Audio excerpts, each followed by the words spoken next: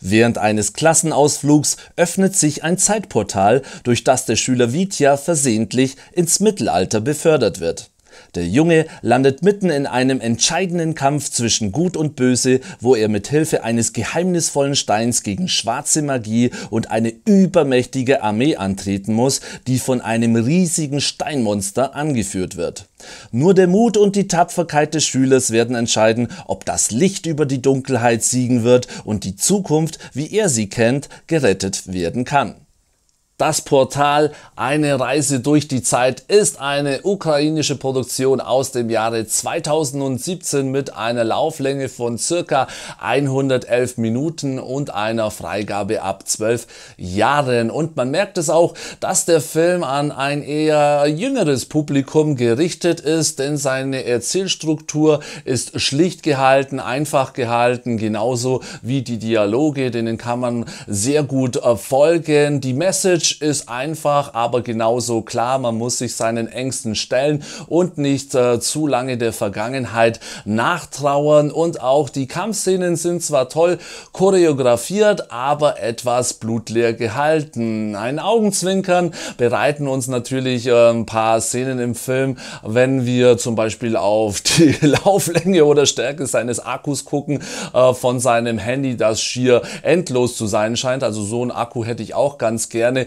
oder als er durch dieses Portal eben ins Mittelalter zurück katapultiert wird und ihm dann erstmal alle Stunden lang angucken, statt gleich zu schreien auf ihn mit Gebrüll, schnappt ihn. Das nehmen wir selbstverständlich mit einem Schmunzeln hin und hinterfragen auch nicht alles, wenn es denn um so einen Jugend-Fantasy-Film geht. Aber auch ältere äh, Herrschaften wie ich zum Beispiel werden ihren Spaß oder Gefallen an dem Film haben.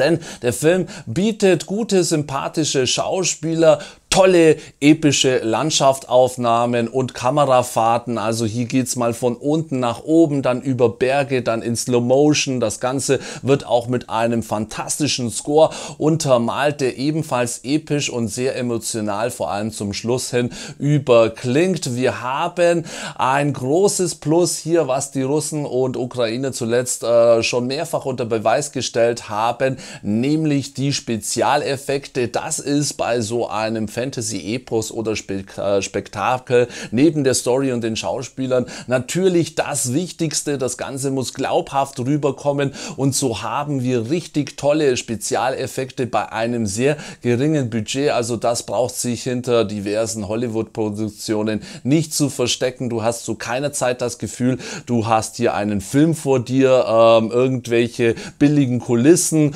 oder äh, Greenscreen, wo das Ganze davor gespielt wird. Nein, du hast echt das Gefühl, du bist mittendrin, statt nur dabei. Das Ganze verschmelzt eben mit den tollen Kulissen und den authentisch wirkenden Kostümen. Also das macht definitiv äh, Spaß für alle Leute geeignet, die zum Beispiel Spaß auch haben bei die Chroniken von Narnia, jetzt ohne irgendwelche Fabelwesen hier, aber eben mit Kindercharakter in der Hauptrolle kein Problem haben. Genauso könnte man jetzt hier auch die Reise zum magischen Berg anführen. Da kriegt man, denke ich mal, so ein bisschen das Gespür für, ähm, wie der Film denn im Ganzen so auf einem wirkt. Also, wenn ihr da Spaß habt an solchen Filmen, dann gebt den Film definitiv mal eine Chance. Einen Link zum Trailer findet findet ihr unten in der Videobeschreibung genauso einen Link zum Kaufen, denn ab dem 12.02. Äh, ist der Film in den Läden. Wir haben allerdings Lockdown, also wird es wahrscheinlich schwierig werden, das Ganze bei Mediamarkt oder Saturn